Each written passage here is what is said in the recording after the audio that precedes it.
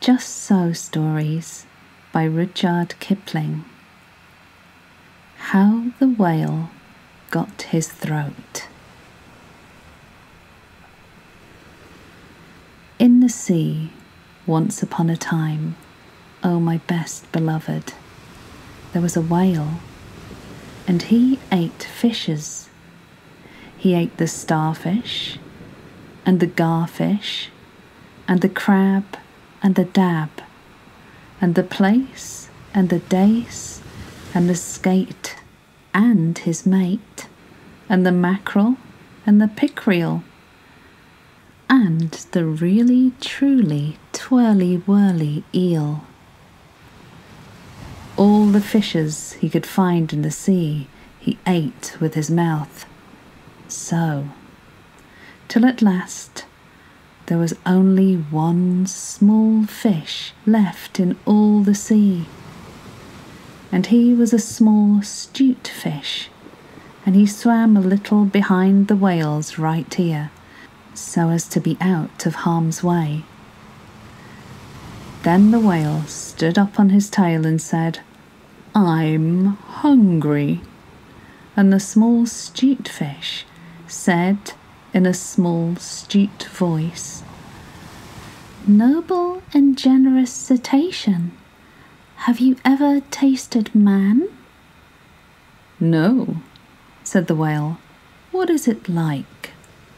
Nice, said the small, stute fish. Nice, but nubbly.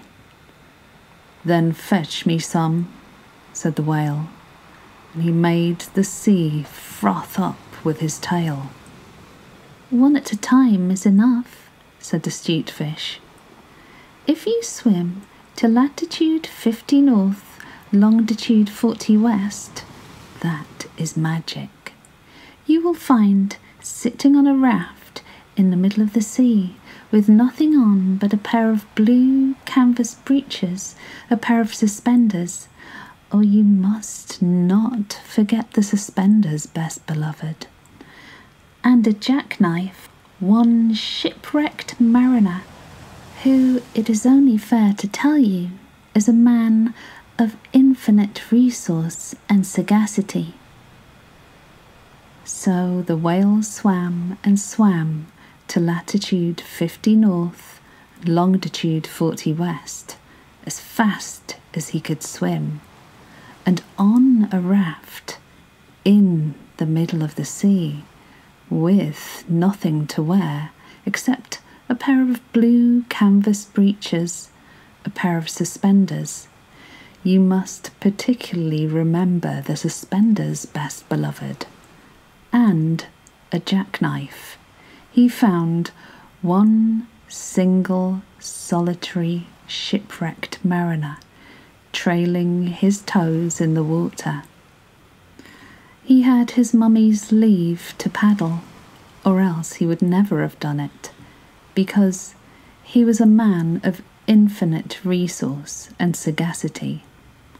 Then the whale opened his mouth back and back and back till it nearly touched his tail, and he swallowed the shipwrecked mariner and the raft he was sitting on, and his blue canvas breeches, and the suspenders, which you must not forget, and the jackknife. He swallowed them all down into his warm, dark, inside cupboards and then he smacked his lips so and turned round three times on his tail.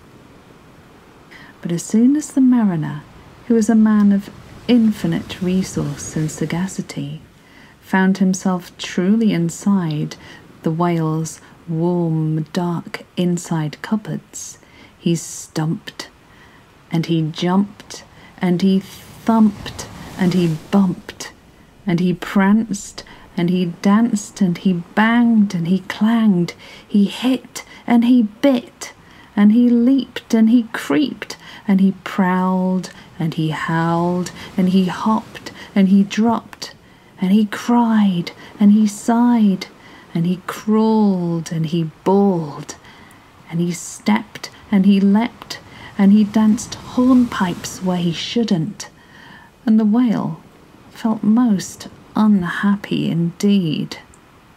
Have you forgotten the suspenders?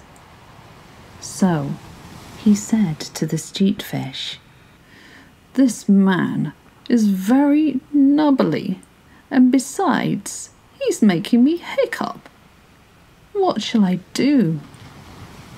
Tell him to come out, said the stute fish. So the whale called down his own throat to the shipwrecked mariner, Come out and behave yourself. I've got the hiccups. Nay, nay, said the mariner. Not so, but far otherwise. Take me to my natal shore and the white cliffs of Albion, and I'll think about it. And he began to dance more than ever. You had better take him home, said the stute fish to the whale. I ought to have warned you that he is a man of infinite resource and sagacity. So the whale swam and swam and swam with both flippers and his tail as hard as he could for the hiccups, and at last he saw the mariner's natal shore and the white cliffs of Albion, and he rushed halfway up the beach and opened his mouth wide and wide and wide and said, Change here for Winchester, Ashuelot, Nashua, Keene, and stations on the Fitchburg Road. And just as he said Fitch, the mariner walked out of his mouth. But while the whale had been swimming, the mariner, who was indeed a person of infinite resource and sagacity, had taken his jackknife and cut up the raft into a little square grating all running criss-cross, and he tied it firm with his suspenders. Now you know why you were not to forget the suspenders. And he dragged the grating good and tight into the whale's throat. And there it stuck. Then he recited the following sloka, which, as you've not heard, I will now proceed to relate. By means of a grating, I have stopped your ating. For the mariner, he was also a Hibernian, and he stepped out onto the shingle and went home to his mother who had given him leave to trail his toes in the water. And he married and lived happily ever afterward. So did the whale. But from that day on, the grating in his throat, which he could neither cough up nor swallow down, prevented him from eating anything except very, very small fish. And that is the reason why whales nowadays never eat men or boys or little girls. The small stute fish went and hid himself in the mud under the doorsills of the equator. He was afraid that the whale might be angry with him. The sailor took the jackknife home. He was wearing the blue canvas breeches when he walked out on the shingle. The suspenders were left behind, you see, to tie the grating with. And that is the end of that tale.